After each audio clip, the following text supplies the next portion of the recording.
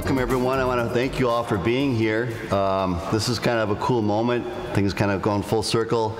I remember when Ray interviewed me 11 years ago, so uh, it's good to see that we're both kind of doing the same thing. And still alive. Yeah. Still alone? Yeah. So the book that, that Ray just authored, Life Between the Vines, uh, is a continuation of really, it's the longest running wine podcast in North America.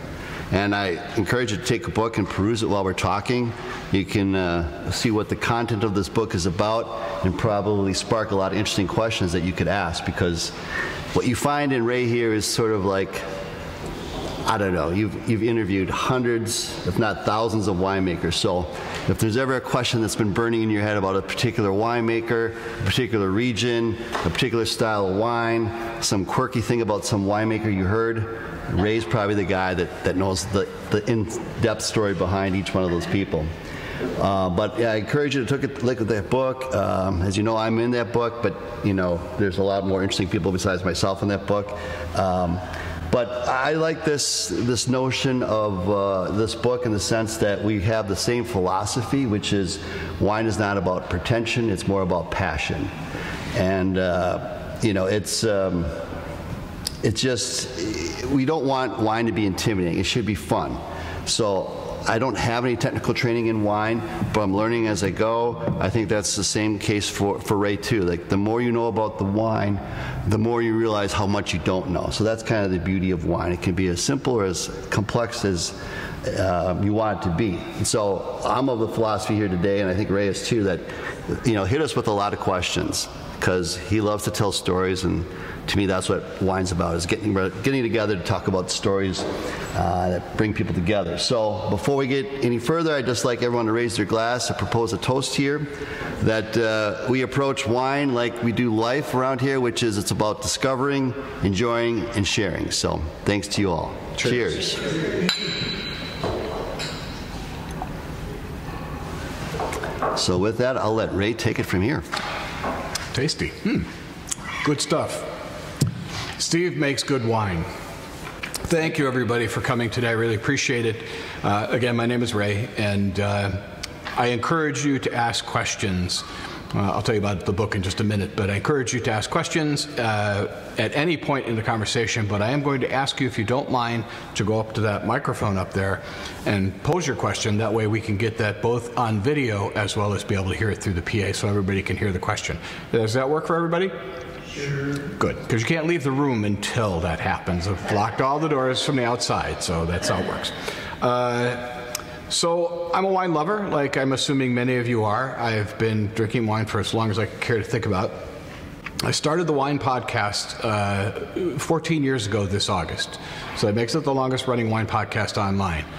Um, the way I started this was my uh, profession is I'm an audio engineer, professional audio engineer. I've done radio, TV, commercials, film for uh, 40 some years. And uh, my passion is audio, if you may notice. And I saw this opportunity of blending my two passions together, wine along with the idea of information and, and audio and being able to pull the curtain away, if you will, and let winemakers tell their stories. So that started it. I, uh, I read a book a long time ago, I guess it would have been close to 20 some years ago, called uh, Napa The Story of an American Eden. And it fascinated me. First time I visited Napa Valley, I was just knocked out by the beauty. I was like every other goofball who goes there, gee, I want to live there. and nobody can afford that. But uh, I wanted to learn more, and I've read extensive history, both the good and the bad, about what went on there over the last couple of hundred years. But this particular book educated me about some people that I regard as heroes of the industry, how they brought it back. Uh, how they made America, uh, America a force in wine after Prohibition pretty well crushed, crushed, poor use of words there, crush, yeah. uh, crushed the industry totally uh, when that came about. I mean, that was a a long time without being able to legally drink wine.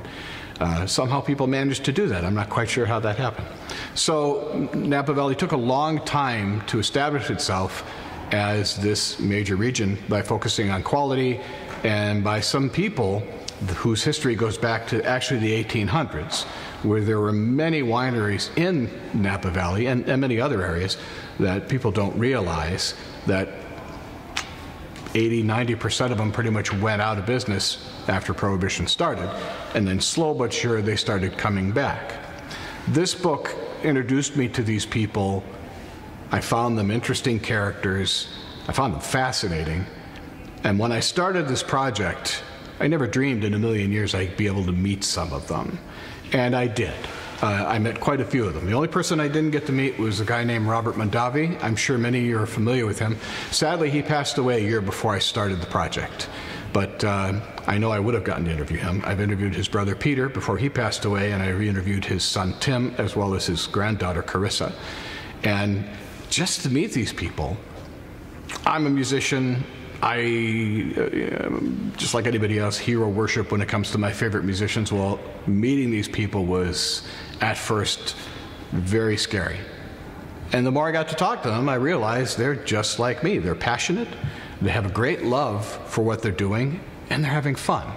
Uh, winemakers, more so out west where it's a little warmer, get to spend so much time outside. I know you spend a lot of time outside as is. But um, to take this, this kind of career, know, some of these people didn't even know you could make a living as a winemaker, which fascinates me. So that got me into this journey of interviewing originally most, mostly winemakers in Napa Valley. I drifted into Sonoma and then drifted into all kinds of places. I've interviewed French winemakers. I've been to Italy a couple of times. Uh, I've interviewed winemakers in Idaho, Louisiana, Ohio, my home state. Uh, uh, Indiana, uh, Finger Lakes, quite a few winemakers in Finger Lakes, Texas, uh, Arizona, uh, Georgia, Virginia, Florida. Yes, they make wine in Florida, believe it or not. And France, uh, Spain, uh, Australia, New Zealand, all over the place.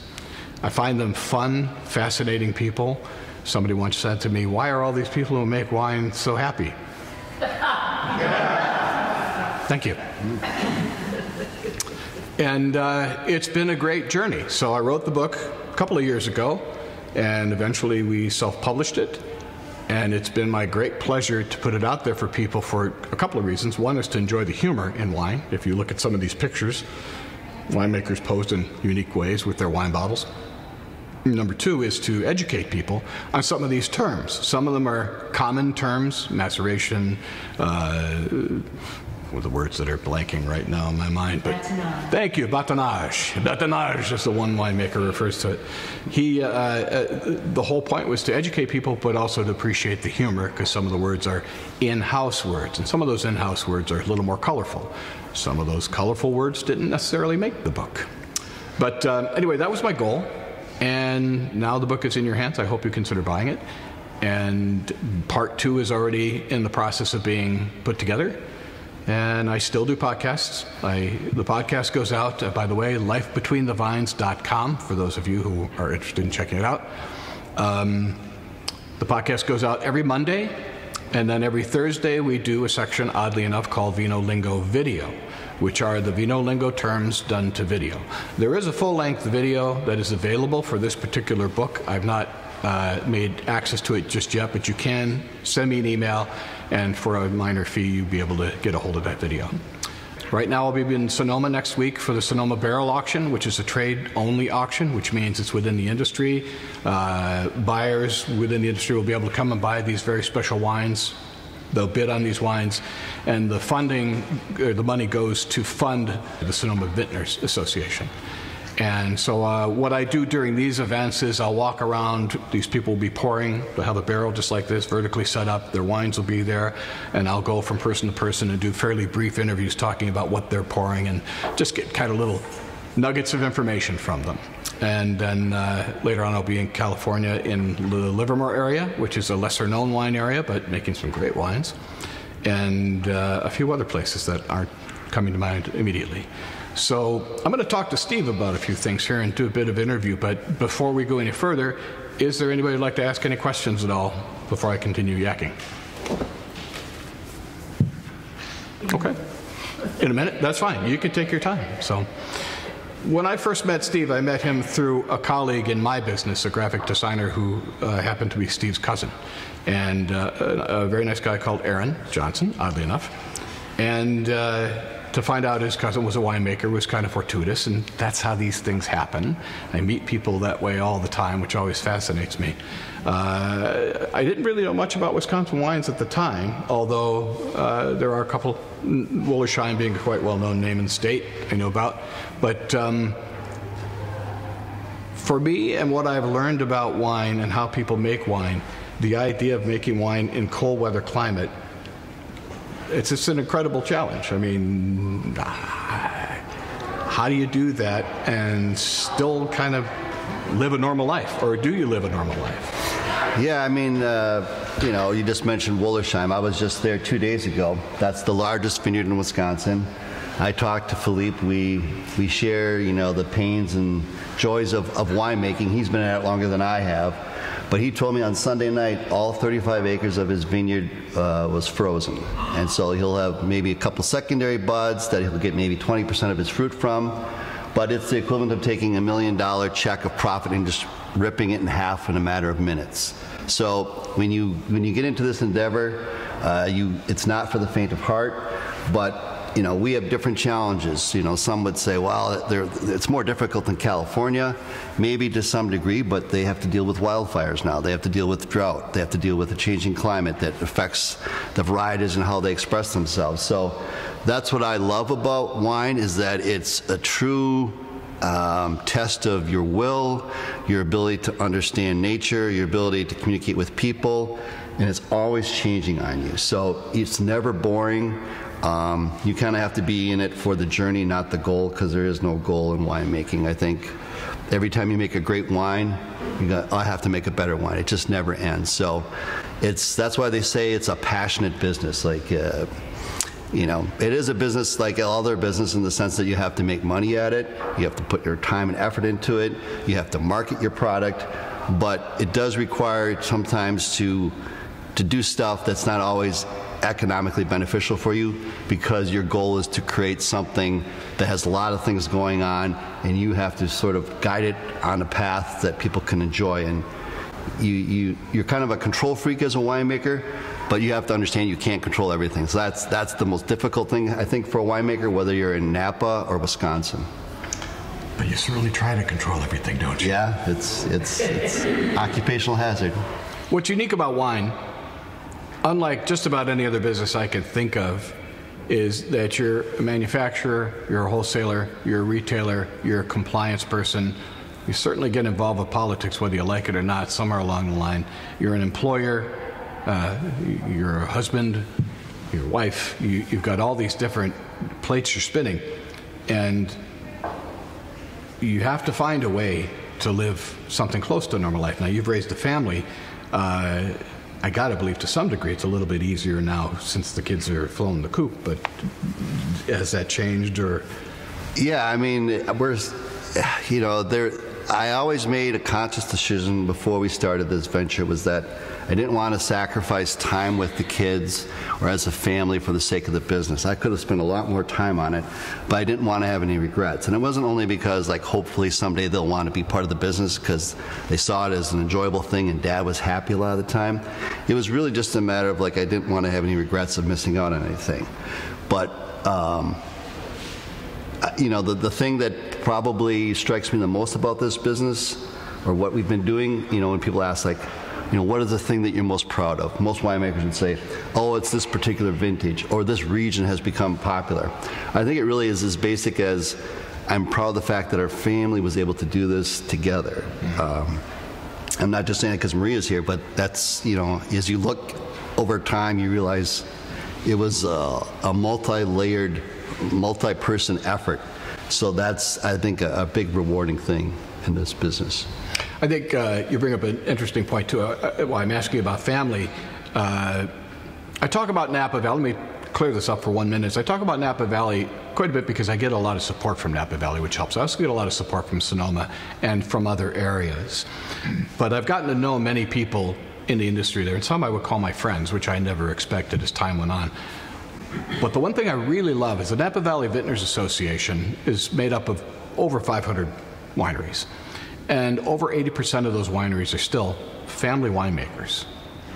Now, in this days of corporate takeovers, you know, that's unfortunate, but it's going to happen. But still, they're managing to stay the course out there, which impresses me because, right, they've got different challenges out there.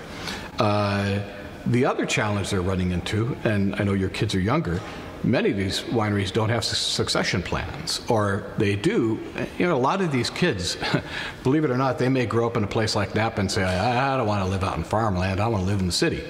And they'll want to get out. Some of them come back, some of them don't. So when you reach that point, you have to figure out, well, my kids aren't going to take it. Uh, I'm going to have to sell. And a couple of wineries I know that were big shocks to me when they sold but it's part of the necessity, and it depends on who you sell to. So it just goes to show the pressure you're under as a winemaker. While it's fun and most winemakers are very happy, uh, it's it's a great deal of work that goes into it. Purple hands, all yeah. that stuff. In October, yeah. Yeah, right, exactly.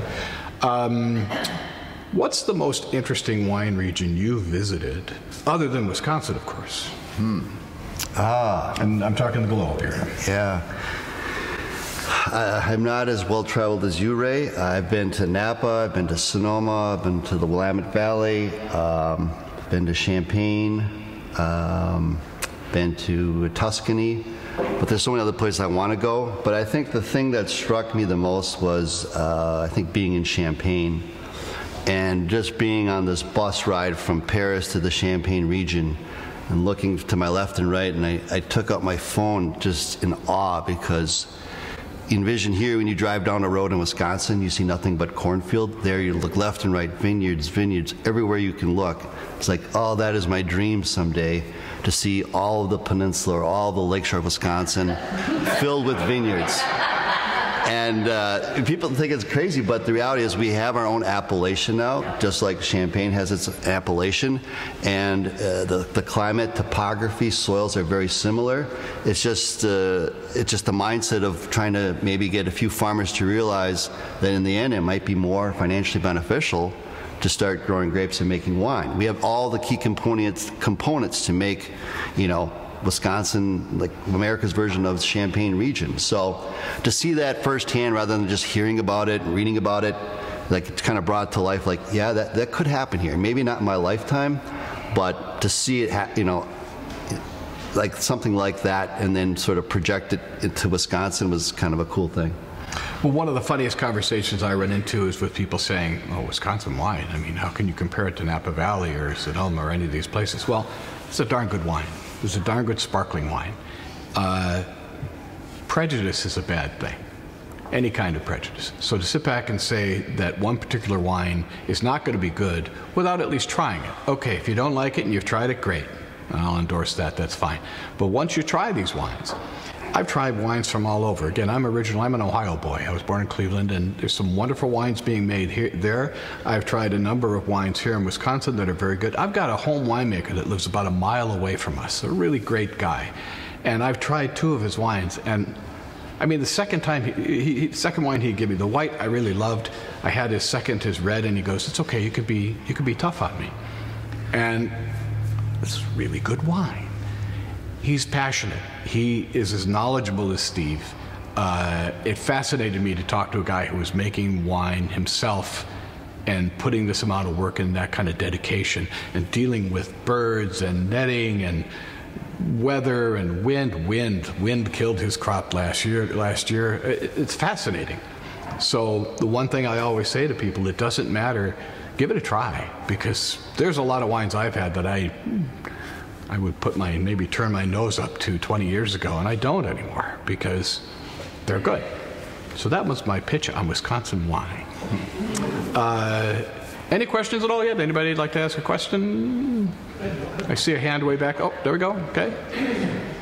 So, Steve, you and I were talking a little bit earlier, and we started talking about the kind of the drop off in wine sales, and it, it affects both of us because I buy wine and you make wine. What do you do? How do we introduce a younger population, which is where you need to go, to bring them along? What, do, what are we going to do? You, as a winemaker, only maybe get 40 shots at making wine. in your lifetime. What do you do with what you've got left?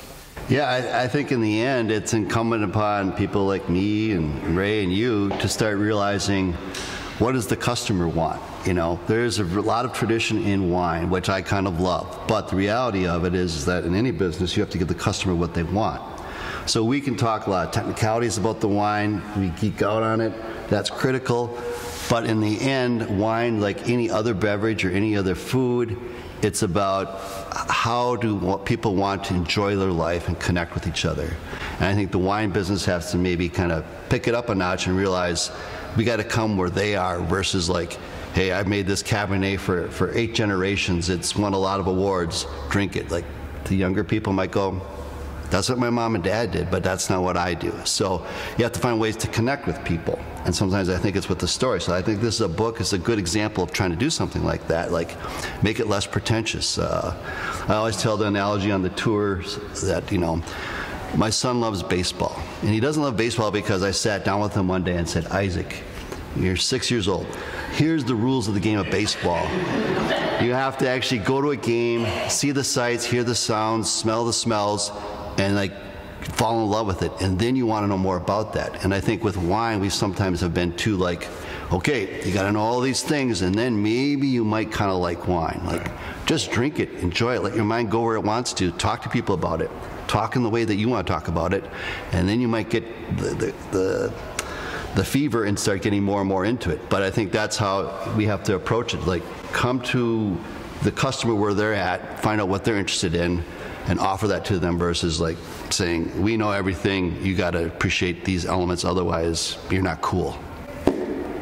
And it's a change in marketing as well. I think the marketing to in wine in general is, is pretty dusty. And I think that dust needs to be blown away and people just start paying attention to it. And, you know, the best part, I'm looking in the other room, I see plenty of young people drinking wine, there right now. Uh, the best thing about wine is what we're doing right now sitting with people, talking, remembering this maybe, hopefully, uh, having that memory of that, that get together and how you can take that to other people and show how much fun that is. And you can do that with other adult beverages. I mean, craft beer is a big deal, but it's, it's not quite the same thing, in my opinion. It's similar, but I think it'll come back. That's just my thinking. Maybe I'm just being an optimist. Yeah, I yeah. think it's it has to be about enjoyment. I mean, you only do something repeatedly if you enjoy it. And if you're thinking too much about it or worried about it or like I, I don't feel like I'm in my comfort zone when I'm drinking wine because I don't know how to answer questions, um, then that the fun's gone. It's so it, it's got to be about you know enjoying life because if you're not enjoying what you're doing, you're not going to repeat it. There was a question in the back. I saw a hand. If you don't mind, come on up to the microphone. Thanks. So my question's a little bit of a two-part question, so bear with me a minute. Sure. Um, so you talked a little bit about champagne, and so this is for both of you. What do you think about will Wisconsin be able to grow Chardonnay or Auxerrois? We already have Marquette, which some say could be a cousin to Pinot Noir to a certain extent from a flavor standpoint. Could we market Wisconsin as being the North American Burgundy? Interesting thought. No, you go for that. I personally believe that it can because I know that these varietals have the components that you want for great champagne, which is high acidity, lower sugars, because we have a cool climate along Lake Michigan. So uh, my understanding is that Champagne, they tried to do what the rest of France did and realized, damn, it's just so cold up here every other year. It's not as good as we hope for it. So we decided to stick to a style that we can consistently do, which is sparkling wine, which has those elements of high acidity, low sugar. I know the climate's changing, but here in along the lakeshore of, of Lake Michigan, we're going to always have these conditions better than in California or other parts of the country. So I think it can be true sparkling wine capital of North America. Uh, I hear other wineries in the state talk about doing sparkling wine. Um, you know, it, it, could become the signature style of, of uh, the Midwest as a sparkling expression. Because if you look at almost every wine region, and you can confirm this, Ray, it's not true of everyone, but you look at a certain region, there's a certain varietal or style that they're known for. If you visited Wisconsin wineries, you would never get that because we're like, we're all over the place. We got sweet, dry, fruit, grape, serious fun. Like, what is Wisconsin wine? I don't think we have a definition yet. Yeah. But if I'm around 30 years from now, I'm going to think it's either going to be white or sparkling wine. I think a lot of markets have a problem with that, identifying one particular thing that sticks to them. You know, Napa Cab is king, uh, Pinot Noir for Sonoma, Pinot Noir for Oregon, that kind of thing. But to kind of jump off what you're saying, uh, it's fascinating. Sparkling wine has changed quite a bit over the last few years, and I'm sure you could back me up on this. Is in the past, men were big drinkers of sparkling wine for whatever reason I don't know, or it was considered a celebratory drink, and it's an everyday drink. Every time I do a tasting, I will always crack a bottle uh, of whether it be a pet nat or sparkling wine or champagne first to clear the palate, and again just to kind of enjoy the start of things. But you're seeing more men drinking it, I'm assuming, in general. Yeah, it's never bothered me, but yeah, I think uh, you, you, do see more men doing Cheers. that. Yeah. Oh wait, you need more, you need more wine. I do. But, um, and that goes back to the whole point of like life's about enjoying, uh, enjoying the moment. And so sparkling wine is that perfect beverage to do that. Um, like you said, it cleanses the palate. There's something about it, the, the pop of the cork, the fizz in the glass. It's happy times. And just one more thing about that. In my journeys, I had a woman contact me some years ago, probably about five, six years ago from Idaho, from Boise, Idaho. And she said, Hey, I follow your podcast. Uh, would you be interested in talking to some winemakers here? And I'm like, Yeah, sure, absolutely. And we got chatting. She's a young woman, married, two kids. Her and her husband met while, you know, rafting down these crazy, the Snake River Valley, that kind of thing. And I said, So what are you making? And she said, Sparkling wine. And I said, What else are you making? She said, Sparkling wine. I, and saying the stupidest thing I could possibly say, and you're selling it? They're making a great living out of making pet nat and sparkling wine. And that's fantastic. And this is in Idaho, of all places, and I've tried it, and it's excellent. So the same thing goes for a place like this is an excellent sparkling wine. I'm not saying it just because Steve is here or the $10 he slipped me before we started talking today. No, but seriously, it, it always comes back to this concept of prejudice when you try something. There are wines in the past I haven't wanted to taste, and then I taste them, and I feel, oh, that's that great prejudgment coming at me, you know. So, anyway, you had a second question? Yeah, and you might have answered it, but I, I think one of the things I run into with Wisconsin wine um, that makes it different, you know, again, going back to maybe French wine, is France has a tendency to um, be very confident and not apologize. This is what we make, and you better be okay with it. And if you're not, you can go somewhere else. Do you think in Wisconsin we have a tendency to not have enough confidence, and so we disguise the wine somewhat? Yeah, I was just talking about this topic. I foolishly volunteered to be the president of the Wisconsin Winery Association. so we had a strategic meeting, and uh, so we had 12 of us there. And um, you have to be careful because we got the full spectrum of different wines being made, and you don't want to step on anyone's toes. Um, but I said, you know, and then we had the director of tourism for the state there too. And he started talking to us about, you know, what your message should be, what's your mission, what's your mission, and what's your vision. And we're all kind of like, and he's like, you guys don't realize if you go down to Chicago and talk about Wisconsin wine, they think it's cool. Um, you never really appreciate it in your own backyard. So I think um, my general view is that we suffer from too much Midwestern modesty. Like, we certainly don't have the reputation of Napa, Champagne, Bordeaux, because we don't have the experience. But the, co- the core components, the passion, is here like it is there. And if we continue to hone our skills, I think we will have eventually the reputation that those wine regions have. Um, and that's another key aspect about the wine business is that everything is super competitive these days. You have to have a message. Wisconsin doesn't have a message yet, but if you don't talk about yourself, people won't know about you. Um, we have to do a better job even within our own wine stores in Wisconsin. Usually the Wisconsin wine section is tucked in the corner of the store. It's kind of like only for those people who know about it will they find it. Um, and some would argue that we should have some of our wines placed in the sections, blended sections uh, of other wine stores so that people might take notice of it. So we have a huge reputational thing to, um, to work on, not only in terms of quality, but just awareness. Because if I walked down Wisconsin Avenue in Milwaukee today, or walk around the Capitol Square in Madison and said, would any of you care for a La Crescent or Marquette?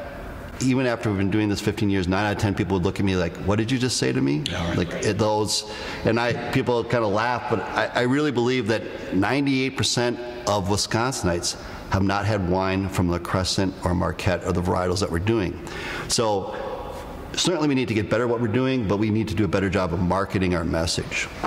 Yeah, it frustrates me in, in retail that you will go and, and see all these wines, and then you, you've already said this tucked away in a corner. They should be on the same shelves. If there's Cabernet, there's Cabernet. If there's uh, Cabernet Franc, whatever it might be, there's no excuse for that.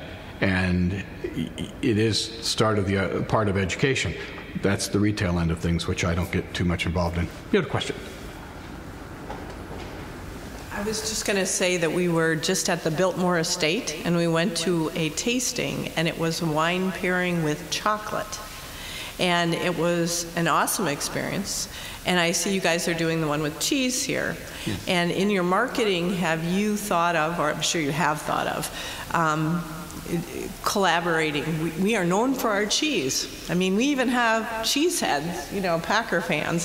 So, have you um, looked at efforts to kind of um, tag along with, you know, our brand in cheese and do more in that area to market the wines to get more notice, even with local grocery stores and you know wine, you know places that sell adult beverages. Yeah, it makes sense because there's connotations of quality go with other aspects of quality, and so Wisconsin's probably, you know, the one of the best reputations in the world in terms of artisanal cheese.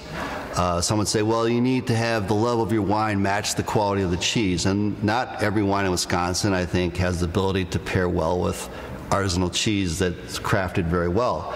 But that does have that potential. But it's funny that you said the Biltmore because we actually just got a call from the Biltmore last fall. And the winemaker there, I don't know, for some reason ordered Petite Pearl and La Crescent online. And they loved it so much, they said, Can you tell us how to do this? Because we're going to put in two acres of La Crescent and Petite Pearl at the Biltmore Estate. Like, why would you do that? You already have Cabernet or Chardonnay. But then it goes back to this whole Midwest modesty of like, well, you know, the, the bottom line is, and as I've traveled a few wine regions, like you, you still have to grow the grapes the same way and make the product and do all the technical things that the world's most famous wine regions do. And so if the Wisconsin winemakers realize, you know, you're working just as hard as the winemaker in Bordeaux, maybe we'd have an aura about ourselves that would rub off on the public to make them more interested in the wine. But yeah, I think it makes sense if we could work with the, Wisconsin cheesemakers to promote what the quality is. And uh, and I think young people are into. I just I have two adult children, and they're into experiences. So something where you pay, you show them what to pair it with, and it was very interesting because they were showing us, you know, when it's paired right and when it's paired wrong. Yeah. It's a huge difference. And our son has lived in Dallas for many years, and he has really gotten into that. And I think those experiences, like you're offering today, you know, or this month. Uh, with the pairing with cheese is, is a great idea yeah. to introduce young people and draw them in. So. And the other thing I always tell other winemakers is that, um, you know, we need to do a better job as winemakers, but our success is going to hinge more on you guys out there as the ambassadors for Wisconsin wine than us as winemakers talking in the inner circle about what we need to do better. You know, in the end, it's about word of mouth as to why people gravitate towards things. And now with the use of social media, if someone like really catches on to what's cool, it, it could really take off. So it's really not we have to do a, a, really good job at all times, but it's really contingent on you guys as to whether or not Wisconsin wine takes off. Yeah, image is a big deal, and and on the other hand, Burgundy is really expensive, as are most French wines. Although there are inexpensive ones too, but you know, it's always that thing about experimenting and trying different wines. Any more questions? Anything we can talk about? Anything? Yes. So, Ray, um, my wife just talked about our, our Biltmore experience, and I walked away from Biltmore.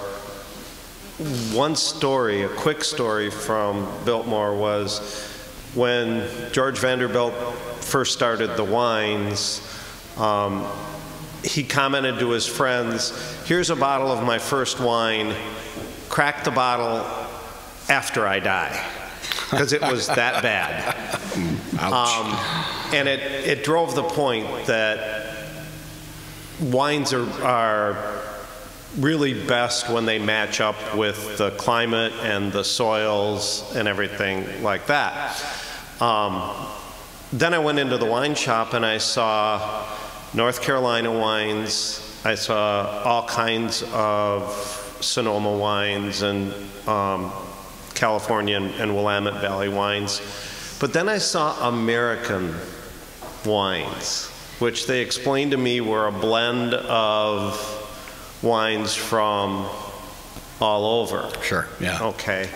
Um, when you go to when you go to Napa or Sonoma or places like that, and you talk about all these wineries, are they selling under their own label, or are they ultimately selling, you know, a bulk product, commodity product that gets blended? How does how does that work? I, I don't. I think about wineries like Parallel 44, Sure. where we come and we experience wine that's grown here, or at least in, in this region, right? Yes. Uh, that's a very, very good question. In Napa Valley and many growing areas, there are rules about how much wine you can put into a bottle in terms of percentage. I believe in Napa it was 75% that has to be from Napa itself. And usually any of those other wines might be coming from, uh, other grapes might be coming from maybe Central Valley. It could be, you know, slightly different areas, but it, it could be for blending. But these days, single vineyard, uh, you know, wines coming from one particular vineyard in that area, whether it be Washington, whether it be Oregon, are a big deal. And that gives owners, or sorry, buyers a little more confidence to know that their grapes are coming from one place. In I forgot what year the law was changed. I think it was in the 60s, where they could put a, pretty much whatever they wanted, and there were big makers there, Central Valley, coastal, whatever, into a bottle and just marketing it under that name. So that changed. So generally, most areas, and I say generally, the laws are covering these kind of things. So, uh, and if you have a different experience, let me know that you know with confidence those grapes are coming from that area. If you buy a bottle, uh, I just had a, a wine called Cannonball. It's California wine. So it could come from literally anywhere. Uh, and it's truth in labeling as much as possible. But if it says Napa Valley, it's going to be at least 75% from there. And winemakers understand one thing if they ever under, understand anything. If their wine's not acceptable people don't like it, they're going to question it just like you are. So uh, most areas are pretty good about that. But the, the laws change in every state.